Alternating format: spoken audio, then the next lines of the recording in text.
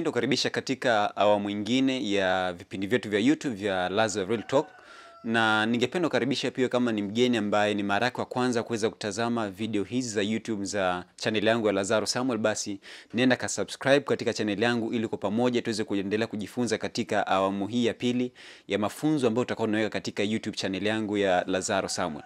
Lakini pia ningependa kusisitiza kwamba katika awamu hii ya pili masomo mengi ambayo tunaenda kuyaweka katika chaneli hii ni masomo ambayo yatabezi katika uh, mauzo na mambo ya kutafuta masoko katika bidhaa uliokuwa nayo au huduma uliokuwa nayo. Kwa kama wewe ni mfanyabiashara au kama ni mtu ambaye una malengo ya kuweza kuanzisha biashara, basi awamu hii usiweze kuikosa kuweza kupata mafunzo haya ambayo yatakusaidia kuweza kuongeza mauzo katika biashara uliokuwa nayo au kutafuta masoko ya bidhaa uliokuwa nayo na katika siku ya leo somo ambalo tunakwenda kulijadili ni somo ambalo linahusiana na namna ya kuweza kupangilia bei ya bidhaa uliokuwa nayo au huduma uliokuwa nayo. Sasa kuna strategy nyingi sana ambazo zinatumika kuweza kupangilia bei ya bidhaa au huduma ulizokuwa nayo, lakini leo hii mimi nataka tuweze kujadili uh, strategy ambayo inatambulika kwa jina la dynamic pricing strategy, na kwa, kwa, kwa, kwa tafsiri nyepesi zaidi tunapozungumzia kuhusu uh, dynamic pricing strategy ni tunazungumzia process ambayo inatumika kuweza kubadilisha bei ya bidhaa fulani kulingana na takwimu zinavyoonyesha katika soko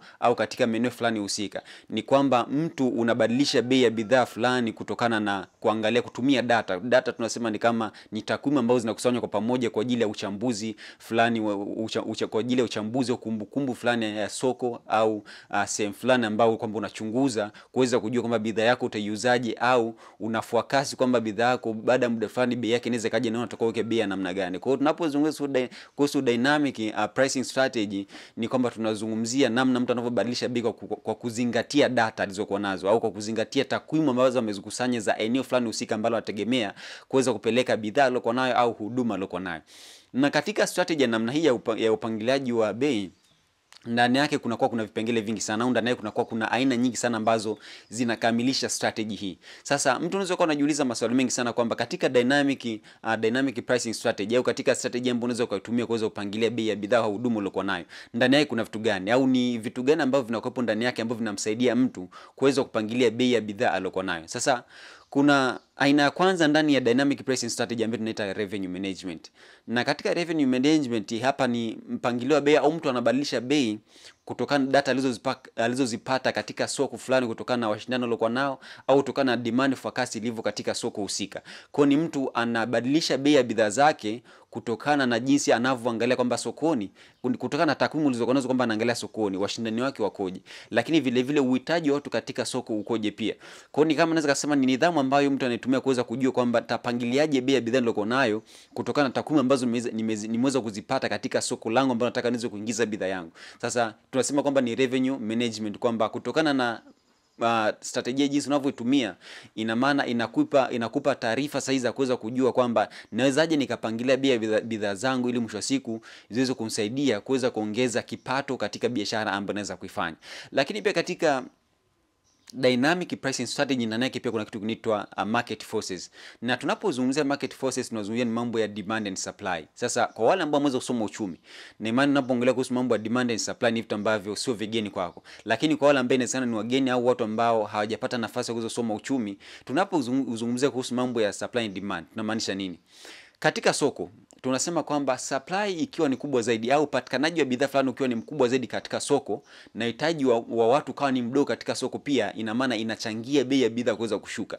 Naomba nisikilize kwa makini. Tunapozungumzia kuhusu law of supply, tunasema kwamba bidhaa zinapopatikana zinapo zinapo, zinapo kwa wingi zaidi sokoni, alafu uhitaji wa watu kawa ni mdogo, ina maana uta, utachangia kwa venda au supplier kuweza kushusha bei ya bidhaa alizokuwa nazo, ili mwisho wa siku aweze kuziuza, aepushe kupata hasara ya bidhaa alizokuwa nazo. Lakini ukija kwenye demand au uhitaji, tunasema kwamba uhitaji wa watu ukiwa ni mkubwa sokoni, lakini upatikanaji wa bidhaa katika soko ukiwa ni, ukiwa ni mdogo, ina maana itasababisha supplier au yule mtu ambaye ni anapeleka bidhaa sokoni au huduma sokoni kuweza kupandisha bei ya bidhaa alizokuwa nazo. Kwa hiyo hii pia inaweza kumsaidia mtu kuweza kubadilisha bei ya bidhaa zake kwa kuweza kuzingatia kwamba je, upatikanaji wa bidhaa katika soko ukoje? Uhitaji wa bidhaa katika soko ukoje pia? Kwa hata mwenyewe kama nifanya biashara au kama wewe ni mtu ambaye ni unategemea kuweza kuingia katika biashara, hii ni kitu ambacho kinaweza kukusaidia wewe kuweza kujua utapangilia unapangiliaje bei ya bidhaa uliokuwa nayo. Unaangalia uhitaji wa watu, unaangalia pia upatikanaji wa, wa, wa bidhaa ambazo unazo katika soko. Kama unaangalia kwamba upatikanaji wa bidhaa katika soko ni mdogo, alafu wewe ni una, una, una, una bidhaa nyingi, na maana utakuwa uweze ku low down the price of your product ili uweze kuuza bidhaa uliokuwa nayo. Lakini pia kama unaweza kuwa na bidhaa alafu demand ya watu ni kubwa uhitaji wa watu ni mkubwa, lakini vile vile bidhaa ile ni haipatikani kwa wingi katika soko, ina maana utakuwa uweze kuongeza bei ya bidhaa uliokuwa nayo, ili mwisho wa siku uweze kupata profit au uh, uweze kupata faida ambayo itakusaidia wewe katika shughuli zako zingine za kibiashara. Lakini pia katika strategy hii kuna kitu kingine ndani ambacho kuna strategy, kuna kuna, kuna sub strategy ambazo uh, inaitwa in, in, ni sustainability.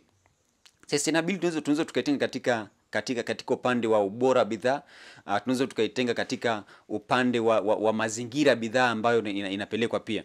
Na katika sustainability, mtu unaweza kubadilisha bei ya bidhaa uliokuwa nayo?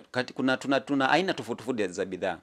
Kuna zile bidhaa ambazo zinaweza zikadumu kwa muda mrefu katika soko bila kuweza kuharibika, na kuna zile bidhaa ambazo zinakaa kwa muda mfupi katika sokoni, kwenye soko na zinaweza zikaharibika pia.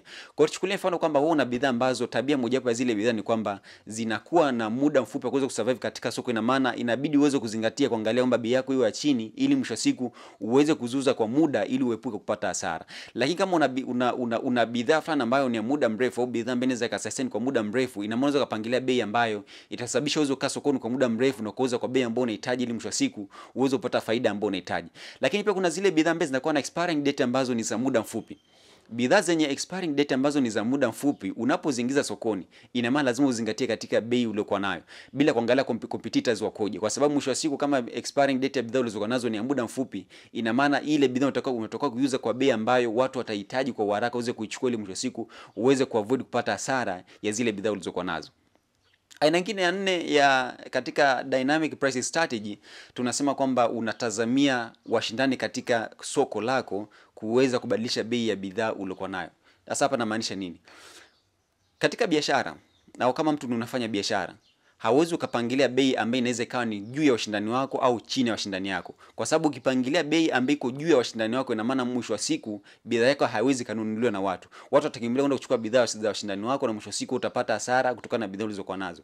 Lakini pia ukipangilia bei ambayo niko chini ya washindani wako, unakuta kwamba idadi kubwa sana washindani wako wamepangilia bei ambayo ni, ni, ni, ni, ni moja, lakini ukawa uka, ni tofauti, na maana utauza zile bidhaa zako, lakini utapata hasara. Kwa hiyo unapo katika katika soko, ina maana lazima uzingatie kuweka bei ambayo haitakuwa juu ya washindani wako wala haitakuwa chini ya washindani wako. Ni bei ambayo itakuwa ni constant ya wale washindani wako, ili mwisho wa siku uweze kugeni ile profit ambayo unahitaji uh, katika katika katika bidhaa ambayo umeweza kuitengeneza au bidhaa ambayo umepeleka sokoni. Lakini pia aina nyingine ya mwisho katika hii dynamic pricing strategy ambayo inatumika katika kupangilia bei tunasema ni kwa kuangalia stock ya bidhaa ulizokuwa nazo, na vile vile licha ya kuangalia stock ya bidhaa ulizokuwa nazo, lazima pia uweze kuzingatia katika uhitaji wa watu, lakini vile vile na upatikanaji wa bidhaa katika soko husika. Na tunasema kwamba unapokuwa na bidhaa nyingi alafu unakuta kwamba kuna uhitaji ambao ni mdogo wa bidhaa ulizokuwa uhitaji pia ni mdogo wa bidhaa ulizokuwa nazo, ina maana ili kuweza kuepuka kupata hasara ya stoku ya bidhaa ulizokuwa nazo, ina maana lazima ushushe bei ya bidhaa ulizokuwa nazo, ili mwisho siku ziweze ziweze kuenda sokoni na ziweze kununuliwa. Lakini unapokuwa na stoku ndogo ya bidhaa, lakini vile vile uhitaji wa watu ukawa ni mkubwa sokoni, ina maana mwisho wa siku ni lazima u raise the price of your product, ili mwisho wa siku watu waweze kuchukua. Kwa sababu kwa sababu nakwambia ni kwa sababu tayari watu wana uhitaji tayari watu wanahitaji bidhaa ulizokuwa nazo na zile bidhaa hazipat, hazipatikani katika soko husika. Kwa hiyo wewe unavyo raise uh, unavyo unavyopandisha bei ya zile bidhaa ulizokuwa nazo, ina maana unaongeza chance ya kuweza kupata profit nzuri, lakini ni lazima watu waweze kuchukua kwa sababu hazipatikani kwa urahisi katika soko husika.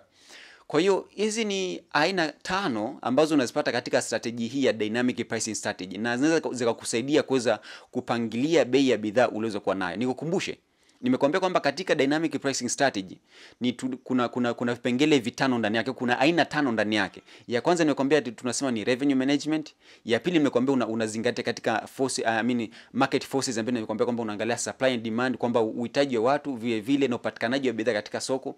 Nimekuambia pia tunaangalia sustainability, unaweza kuangalia ubora wa bidhaa ukoje, lakini pia unaweza kuangalia competition, unaweza kuangalia washindani wao katika soko. Washindani wao katika soko pia unaweza kusaidia kuweza kujua kwamba bidhaa yako unaweza kaipangiliaje bei lakini pia nikakwambia ya tano na mwisho nikakwambia nika, nika kuhusu stoko ya bidhaa ulizokuwa nazo. Je, bidhaa ulizokuwa nazo ni nyingi au ni chache? Lakini licha ya kwamba bidhaa zako zinaweza ni nyingi au ni chache, angalia, je, uhitaji wa watu na upatikanaji wa watu wa zile bidhaa ukoje?